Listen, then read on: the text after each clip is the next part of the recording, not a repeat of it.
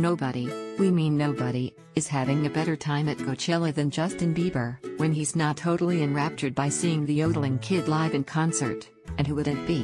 The Biebs, 23, is getting down on the dance floor slash lawn in the sunshine. A fan spotted Justin dancing it all out during day one of Coachella, moving and grooving to the beat in just a pair of board shorts. Who needs a shirt when you're in Coachella, the land of the skimpiest hippie outfits that have ever existed? See the video of Justin having the time of his life at the music festival below.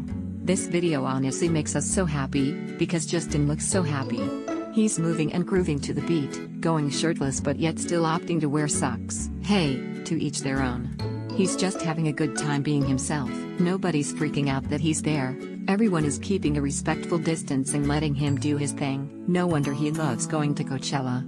You know, Justin's been going through a really tough time lately, ever since girlfriend Selena Gomez, 25, told him she wanted to take a break from their relationship. While he totally respects her wishes, he still loves and misses her. Looking so carefree in the desert, it seems like Justin could finally be getting back to a good place.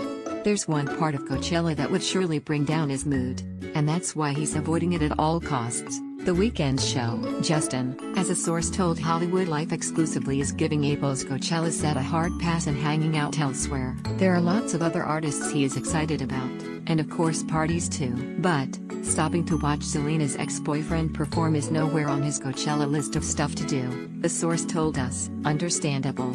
Selena's skipping it, too, and staying home with friends. Two exes in one place?